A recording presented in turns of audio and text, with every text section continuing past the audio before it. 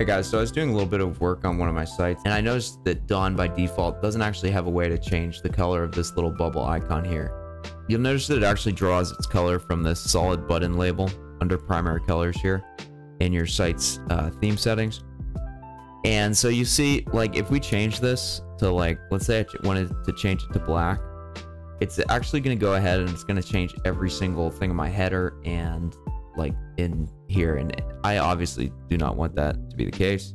If we bring up Chrome DevTools, which you can do by pressing uh, Control Shift C, and you go ahead and inspect this element here, um, which to inspect it, you can just click this and then hover it and then click it.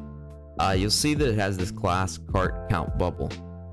And if you look at the class definition here, you'll notice that that's actually where it's getting its uh, background color from. You can see that it's set to this variable, this color button variable, which is set to this here. Um, and it's actually coming from this file here, this base.css file. So that's the file that we're going to be looking in, in your site's theme files. Once you load your site's admin, I want you to go ahead and click on online store and themes here. And what you guys want to do is we're going to go to edit code, but before you do that, make sure you either duplicate or um, download your theme file. And that way, if something gets messed up along the way, uh, you have a previously working copy of your site to revert to.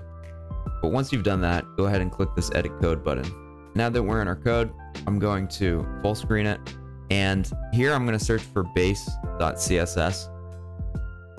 And you'll notice down here by this assets folder, there's going to be this base.css file. I already have it open, but if you don't have it open, go ahead and open it. And uh, you'll notice on this uh, on the Chrome DevTools in base.css, this uh, line is going to be line 2110. Yours is probably going to be around there if you haven't fooled around much with the code of your site. But if you have, just go to whatever line it's saying. Uh, the other way to find this would be you press Control F and type cart dash count dash bubble, and uh, you'll find it. But once I'm here, you can see that this is the line that we're interested in here, this background color. So right now, set to this variable, this color button variable. And one of the things um, that is a little bit unique about Dawn, it actually uses for its uh, base CSS file, it doesn't have the .liquid extension on it, and therefore it actually doesn't have access to any liquid objects or uh, theme settings or anything like that um, directly. So this uh, color button variable is actually going to be declared in your um, theme.liquid. And so, um, right here. So in this style uh, section of your of the liquid, like it declares all of these variables, and once you've declared them, they're all accessible to um, whatever else you load after that. So we're not actually going to be creating an option for this. We're just going to be editing this in line because creating an option for this is just a little bit more intensive because we have to go in here and then we have to go into our site schema and everything like that. And most of you probably just care about the appearance of the site. So, um, one of the things we can do though is if we want to use, like for instance, if we wanted to use our second accent color, uh, we can search this for accent too you can see that this uh, variable is actually going to be this color base accent 2. And we can go ahead and replace this with the thing we copied, which is that color base accent 2, and save that. So once we've done that, we've sort of rebound this uh, bubble icon. Let me close Chrome DevTools here. We've rebound this and you can see now that it's actually applying this accent to here. Uh, the other thing we could do here is instead of uh, making it a variable, and the other thing to note is, you know, anytime you're you're editing your theme files, you really want to go ahead and leave a comment.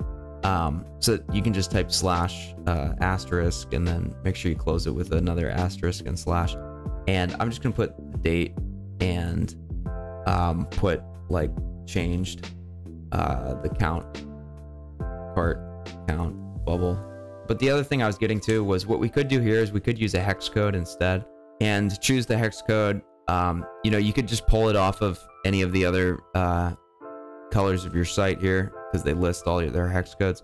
Or, you know, you could go to a site like htmlcolorcodes.com and just play around with whatever um, and get the appropriate hex code and copy that and go ahead and paste that and save it. And then once you refresh your site, it should update and you can see that it's this blue color that is like this. That's how you change this little bubble here. If you wanted to change the actual cart, um, it would be a very similar process. Uh, most themes, uh, this is going to be an SVG element. Uh, let me see if I can just, yeah, the SVG. And for that, I think you just change the color here. And so if I change it to like black, yeah, you can see this changing it. Or I could do, um, you know, I could do anything like I could do uh, turquoise or something, you know.